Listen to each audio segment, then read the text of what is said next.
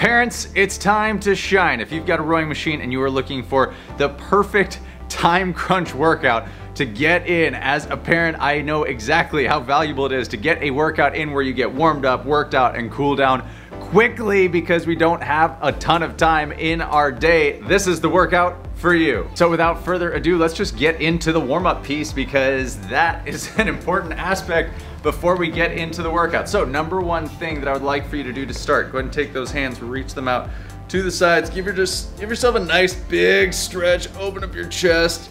Oh, we spend so much of our time with our kids hunched over. Make sure that you open up, take those hands, reach them behind your head, Stretch your elbows open.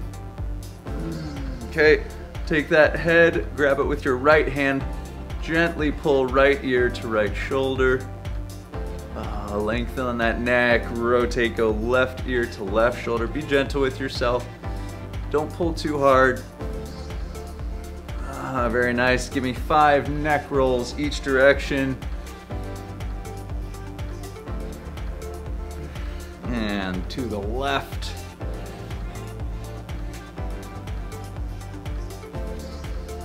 And here's a favorite of mine. Because we never want to be shrugging our shoulders while we're rowing on the machine, we always want to keep our, our shoulders down using our lats to engage. So what I'd like right now is squeeze your shoulders up to your ears real high. We're getting it out of our system, but we're also getting our shoulders to be able to relax, shrug, shrug, shrug, and drop and relax. Feel that relaxation? That's what you want to be holding throughout the workout. Now let's do that one more time. Shrug, shrug, shrug. And relax. Very nice. Go ahead and take that head, give your chin kind of a pull down into the chest. And now I want you to take from your chin, I want you to try and roll vertebrae by vertebrae into just a bit of a curled position. This is like a vertical cat-cow.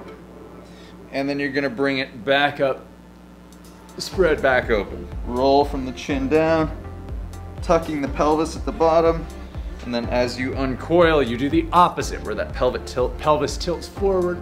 Oh. Open up. Now we're gonna take that right leg, put it up onto the machine. Left hand is gonna reach across to your foot, and you're going to give a nice rotation here. So you're gonna kind of look over your right shoulder. and switch sides. Left leg up, grab the left foot with the opposite hand and rotate.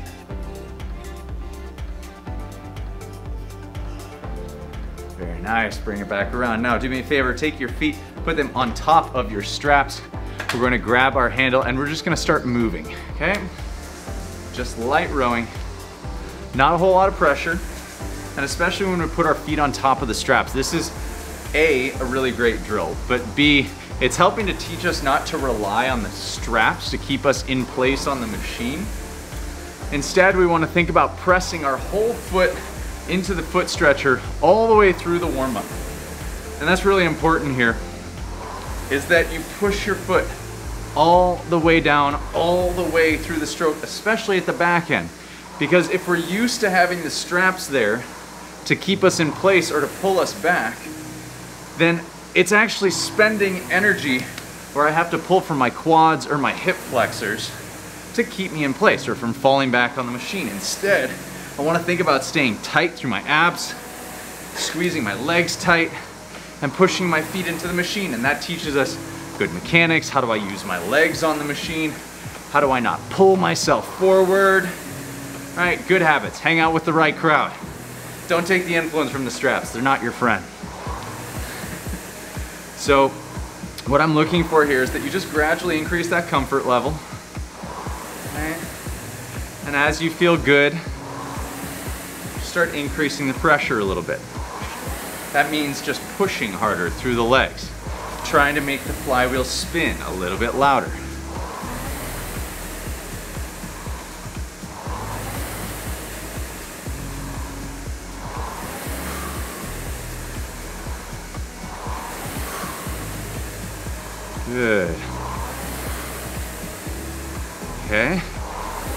Take it up again, just with pressure, not with stroke rate. So to do that, you're really trying to push through the legs. Imagine you're on the floor. Let's say you're laying on your back because we're parents. Your kid comes over to you and wants to Superman on your legs, right? So you put your feet on their chest, you hold their hands, and then you press your legs up to the sky. That same press of the legs is the same press that you're doing on this machine. Maybe that's why we're rowing in the first place, so that we can help our kids Superman really well. For Superwoman. I am a girl dad after all. So, if that makes sense, think about that, right? Push the machine away from you rather than trying to pull the hand to you. Now you should be kind of getting warm at this point. You want your body to start feeling hot, but also you're still pretty relaxed. We're not getting too hot and heavy yet. This is just to start getting the body prepped for movement. And we're gonna take five strokes at our hardest pressure yet. And these are gonna be the final five strokes of the warm up. Here we go, on this one. One, two, keep those feet pressing into the foot stretchers. Three, especially the ball of the foot. Four, five, and nice and easy, just wind it down, turn the pressure down. And let's collect ourselves. Two more strokes, that's one. And two. Very nice, set that handle down. So what's up next is going to be a 10 minute workout in which I'm gonna reveal all the details as we go along. So the only thing that you need to do is set up your monitor. Now again, if you're not on a Concept 2, as always, that's fine. If you can set time, great, do it, set 10 minutes. Otherwise, just follow along with me because I'm gonna be rowing for 10 minutes. So it doesn't really matter if you set yours or not, but know that I'm gonna walk you through it. So from the main menu, we're going to go to select workout. That's the B button, new workout, D button, single time, B button and hit the minus button C twice, one, two. That gives us 10 minutes on the screen. Hit the check mark E, and we got 10 minutes on the screen. With that being said, you are now warm. Let's strap in. You get your straps back here, parents. You're welcome for that. And now get into the machine, grab that handle, sit ready, and row. So what I want you doing now is following along with me. Okay, match my stroke rate here. I'm setting up at an 18. Now again, I'm gonna tell you how this workout goes as we go along, okay? So, the biggest part as you start to get comfortable with the stroke, right, with the machine, because this is a beginner workout, is to learn to relax on the recovery. That's the slide forward. Don't ever be in a rush to slide forward because you can't actually do any work to the machine in that phase. So if you can be relaxing instead, you conserve energy to then put it into the drive where you actually get output, okay? So as we work out, I'm gonna just be throwing some ideas at you to get you comfortable. All right, that's one minute done. We're gonna shift to a 20 here on this one. Bring it up to a 20. Now what's beautiful about this workout and its completion is again, because knowing we're busy, we got stuff, we got life. Sometimes you only have 20 minutes to get an entire workout in. That's great. You can repeat this workout and you should to help you learn how to enjoy this machine more and also to make sure you're getting a good sweat in. So what I want from you now, holding this 20, is that you are focusing on being strong on your push. Push those kids up into the sky. Push that machine away from you. Hang off of your arms and let the legs do the work. That is an important skill here. Nice. We're gonna make another shift, up two more beats. On this one, here we go, up to a 22. Follow along with me here. After this minute, I'm gonna start throwing some curveballs at you. So get prepared. What that means is right now, I want you to really focus on pushing. Get that heart rate up. Stick with me on stroke rate and try to match my timing exactly. meaning be as quick on the drive as I am and as smooth on the recovery. And you'll notice that there's a ratio there. It takes me longer to slide up the recovery than it does to move through the drive. So at the next minute mark, I'm gonna throw a drill at you. And this drill is about helping you to organize the mechanics of the stroke. So we're gonna add a pause. At arms and body away on this stroke. We're gonna pause right now. Pause, that's arms and body away. I'll give you a second to catch up to me. We're gonna do this every stroke. Go.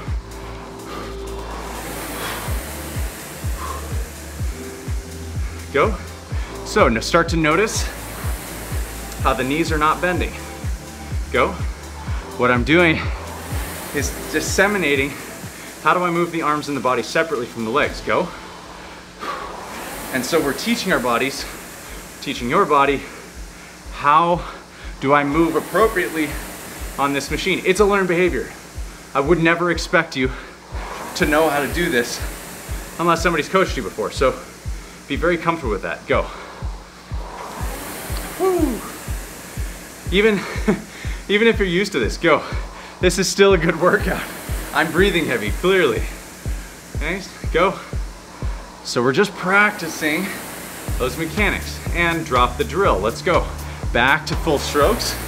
Now we're going up to a 24. Okay, now try and implement the drill where the arms and the body move first and then the knees move. How loud can you make your flywheel through the push?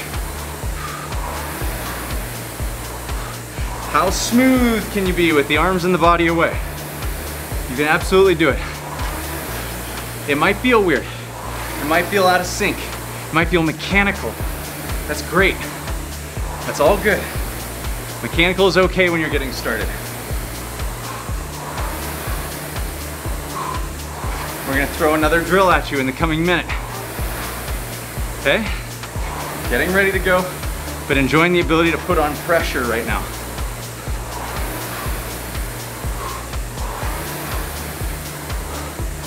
Adding in arms away pause on this one. Arms away pause, just the arms away now. I'll let you catch up and go. Just the arms moving. Go. Closing the hips, then the knees bend. Sit tall, go. Brace through your core. Make sure you aren't leaning too far back, go. So much can be worked on here Go. Make sure that you're not hitting your body with the handle and then holding it. Go. You wanna be fluid. Let the handle move in and out. Right there. Go. I'm gonna keep that in and out as your focus for the remainder of the minute. Go. Handle moves in and out. Fluidly. Go.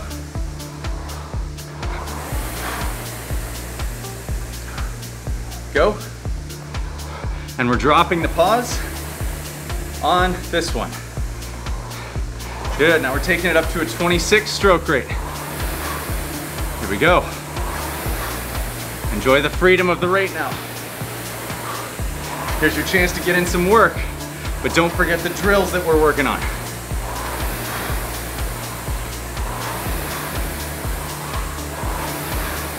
Twenty-six on the rate. Think about those arms. Think about those hips. Make sure you're not overreaching at the back or reaching too far forward at the front. Do it all with good mechanics.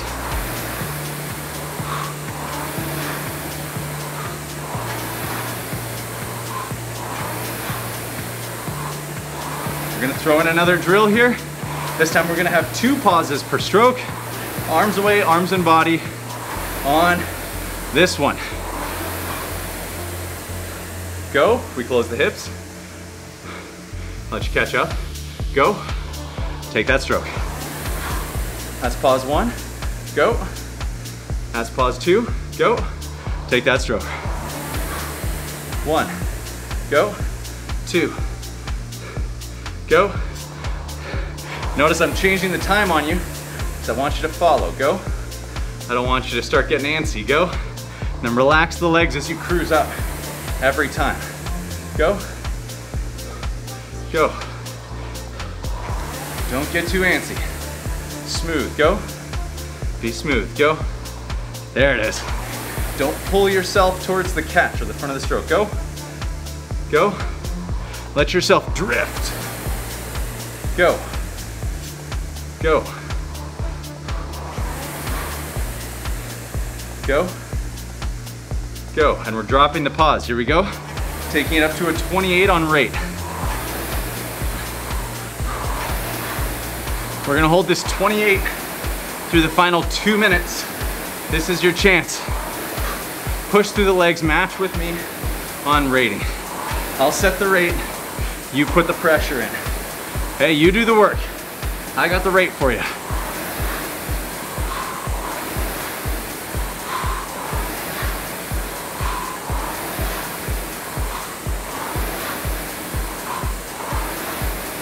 Here we go.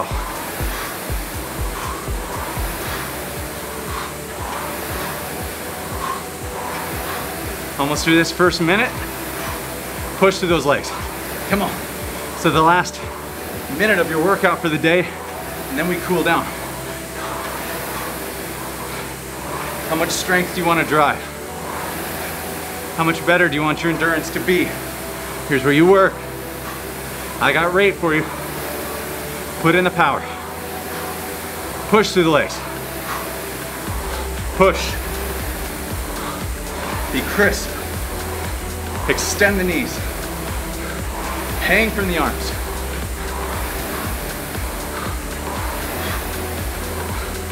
Think about the drills.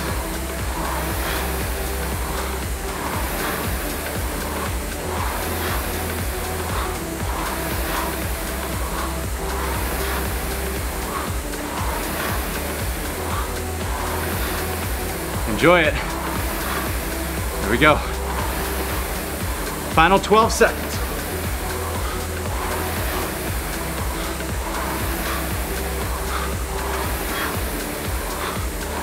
Two, one, easy. Nice. Now, sink in with me. Rate's coming down. Shore up your mechanics. If you're sitting slumped over, sit up. Open your eyes, watch me, Here's where we put in the good work. Focusing on mechanics when you're tired is critical, okay? So move with me, focus on the order of operations and think about that drill. Arms away, body away, legs. Arms, body, legs. Here's where you really get to think. Get your mind in the right place.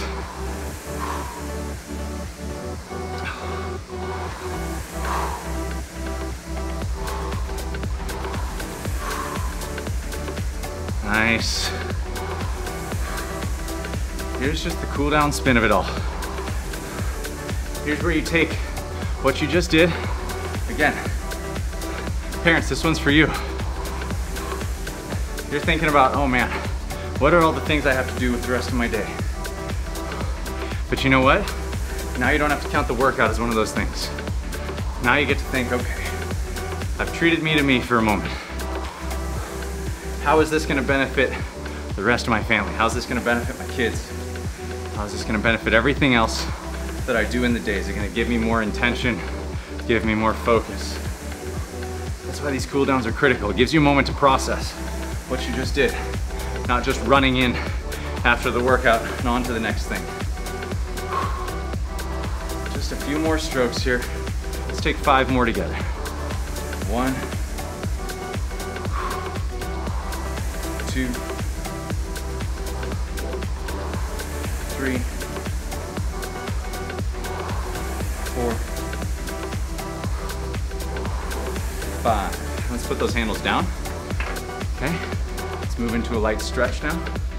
Take that right ankle, throw it up on the left knee. And give me a nice forward lean. Wipe that sweat off the brow. Feel that stretch through that right glute, that right hamstring. Breathing. Start to bring your heart rate down. Enjoy this basking in the workout part. It's always the fun afterwards. Because you just know, okay, I did good stuff. So now I get to enjoy it. Now I get to benefit from it. Switch legs.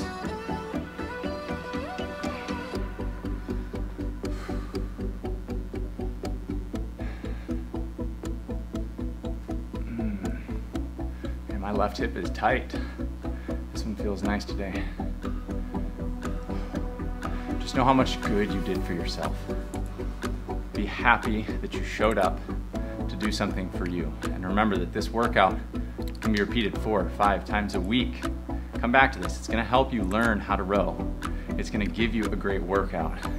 And as you're getting started, as you're making this journey into this machine, you're gonna find that this is something that will continue to serve you until you feel like you're ready to take it the next step. Move up to the intermediate workouts or the advanced workouts. Have lots of options from here, but this is a great place to start. Okay, let's go ahead and take both feet up to the top of the foot stretchers. Okay, up to the top of the foot stretchers. And just give me a nice forward fold. Enjoying this straight leg forward fold. You're welcome to let your head just drape. Just let your back round. The rest of the time, we're always so tense. We're striving for tension almost in the stroke. And when we get to stretching, it's nice to just be able to let go, let all your muscles truly relax.